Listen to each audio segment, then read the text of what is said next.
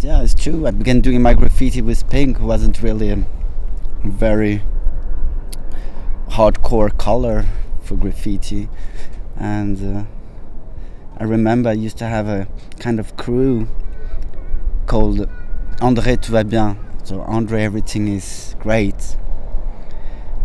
But I was the only member of that crew, so and uh, I took it from there and invented my my own little word. And then I met. Sometimes I used to meet someone doing graffiti also, and it was like great. Like it's like meeting another alien. like wow, you have the same interest as I have in this. I never thought about it. It was instinctive. I never thought it was art. I never thought I had even to rebel against anything. It's just I had to do it. That's who, who I wanted to be. That's why I was feeling good. Going out after a day or a night. At the time, we used even paint during the day. We, fuck it. I wasn't scared about anything. And it was such a, a, a feeling of pleasure and, and so I don't know, it comes from that. It gave me pleasure,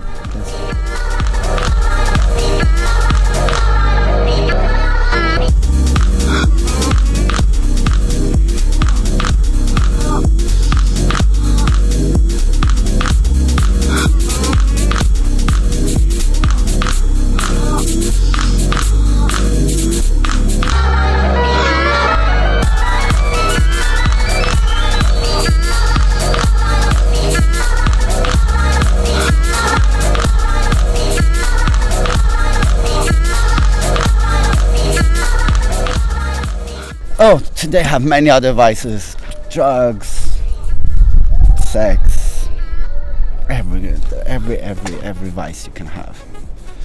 I know it's normal. People think it's normal.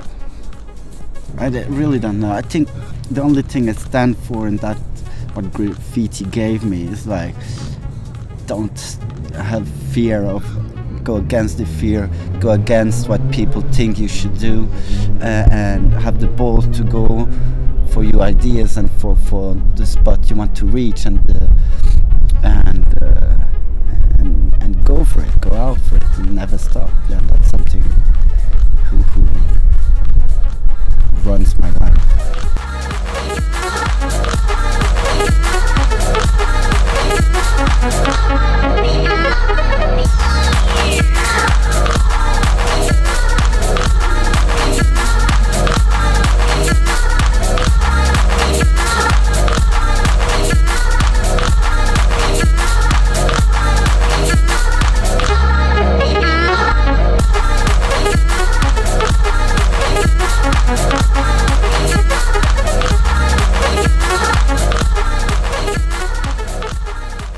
Love troubles. I love troubles. So no, graffiti is part, is part of me. It's maybe the thing I, I love the most. Even if I don't do it in the kind of systematic way I used to do it.